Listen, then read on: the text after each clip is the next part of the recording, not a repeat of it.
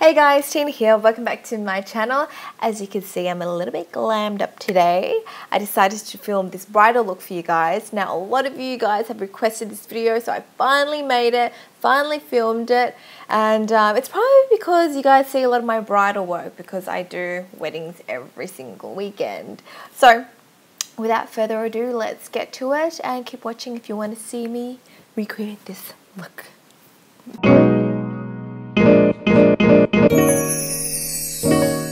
First, I'm going to start off by prepping my skin with Kiehl's Ultra Facial Moisturizer, and I'm just going to apply that all over my face. I really like this moisturizer because it makes my skin feel a little bit tacky so that when I apply my foundation, it holds on really well. Today I'll be using my Tarte Amazonian Clay 12 Hour Full Coverage Foundation in light medium sand and I'm just going to dot that all over my face and then go in with the Beauty Blender to blend that all out. So I've chosen this foundation today because it is a long wearing full coverage foundation which is perfect for brighter looks. If you're doing your own makeup on your wedding day or if you're doing someone else's makeup, you'll want to make sure you're using long lasting products as it will help to minimize the amount of touch ups you need throughout the day. Next for concealer, I'll be using the Tarte Maracuja Creaseless Concealer in Light Sand.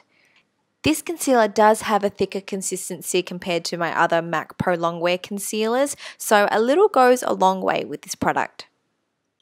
Now I'm applying this concealer under my eyes just to cover up those designer bags of mine and then with the rest I'm just going to apply it to the high points of my face that I want to sort of highlight.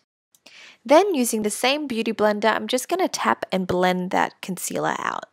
A good technique I use to really blend up that concealer into my lower lash line is I use a slightly rolling motion. So I like to roll that concealer up and blend it into my lower lash line. So once that is all nicely blended and I'm happy with my base, I'm going to set it with my Anastasia Beverly Hills Highlight and Contour Palette and using my Rae Morris Middle Buffer Brush. So first I'm going to set my highlight with the middle shade there called Banana. Banana Boat Fun and Protection. Who else knows that song? It's so freaking catchy. Anyways, next we're going to move on to contouring. I'm going to be using my RCMA Shinto foundation palette with my MAC 286 Duo Fiber brush and I'll be using the two darker shades mixed together. Now, you guys would have probably seen me contour my face before, if you guys have been following me for a while, that is. So I'm just going to apply the contour shades to the hollows of my cheeks, the sides of my nose, and a bit around my forehead. Then again, grabbing my trusty beauty blender, I'm going to tap and blend that all out. Once that is all nicely blended, I'm going to grab the middle shade here called Fawn and I'm going to use that to set the contoured areas. Now for bridal makeup, if you want to go a bit heavier, especially because you're taking lots and lots of photos, you can.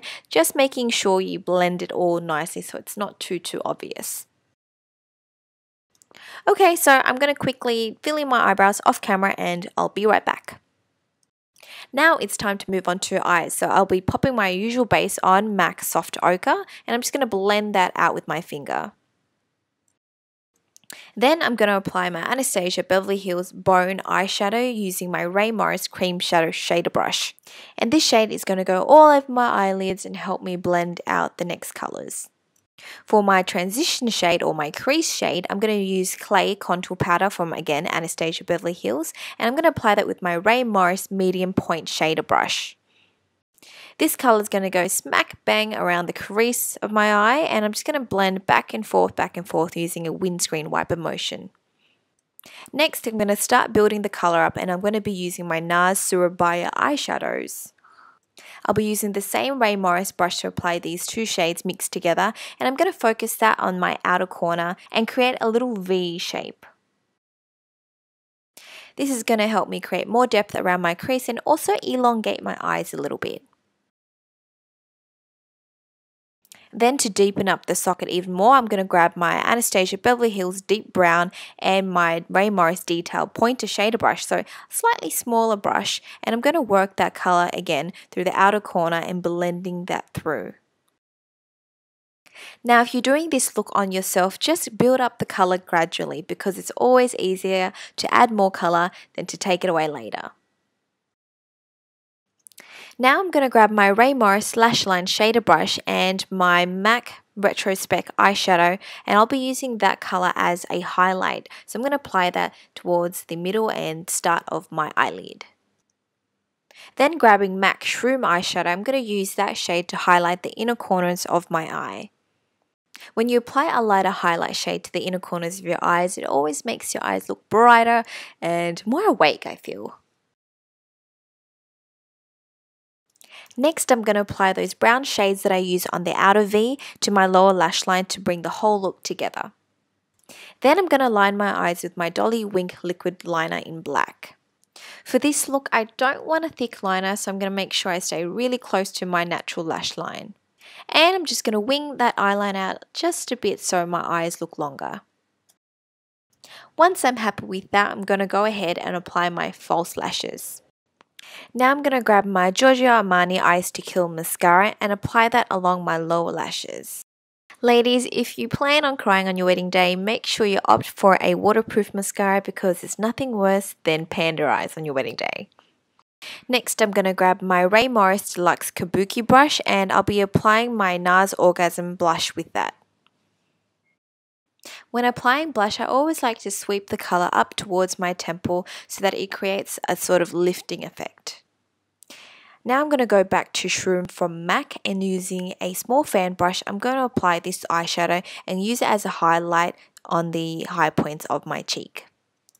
For my lips, I'll be using my MAC Staunchly Stylish Pro Longwear Lip Pencil and also my YSL Rouge Pur Couture Glossy Stain in number 7.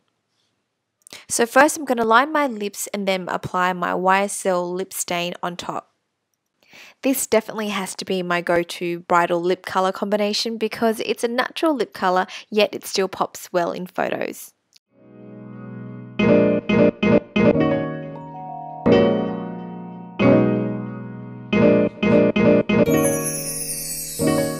You guys enjoyed watching this tutorial and I hope you guys like the bridal look and hair of course. Maybe I should actually do some hair tutorials. Um, if you guys want to see that, leave a comment box and leave a comment box. Yeah, leave, leave a comment in the box below. Also, maybe you want to see some different bridal looks, like maybe a beach wedding, a day wedding, an evening glamorous wedding, a vintage wedding. Um, what else? There's so many, so many bridal looks. So leave a comment in the box below if you want to see different looks. And also remember to like, share, and subscribe to stay updated with future videos. And I guess I just gotta go find a groom now. Anyways, I'll speak to you guys next time. Bye!